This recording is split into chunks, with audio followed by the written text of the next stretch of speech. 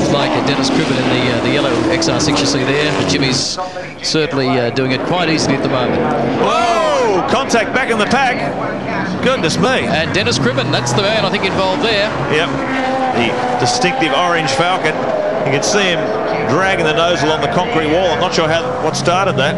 I think he may have been uh, turned around, Mark, by the Commodore. It looked as though they may have got, they were battling in their own right, and when the faster uh, traffic caught them with uh, Jim and Fitzy there, perhaps they got a little bit out of sync, and uh, as we see a replay now. Here we go. Yeah, you're right, Cameron. Crunch.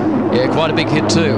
So Gold Coast fairly short on taxis this weekend with one more down. Well, he's left with a steaming wreck. It's dropped all its coolant. Big hard hit.